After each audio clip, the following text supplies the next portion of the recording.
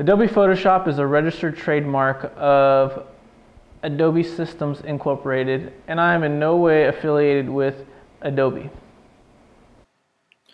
Okay, so in this tutorial I'm going to show you guys about the gradient tool and how to use the gradient tool in making an image like I'm trying to do here with that page curl look. What you want to do is you want to go over here to your toolbox bar and you want to click the gradient tool and you want to double make sure that the linear gradient is actually selected here at the top. And you want from black to white. so what we're going to do now is we're actually going to click and drag from the top to the bottom.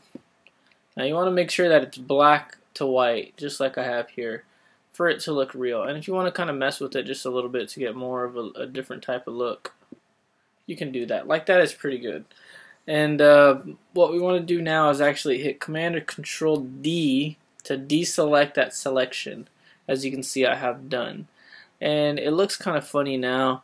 But in the next clip, I'm actually going to show you how to free transform this and use the new warp feature uh, in Photoshop. And, and the warp feature has been introduced since CS2, I believe.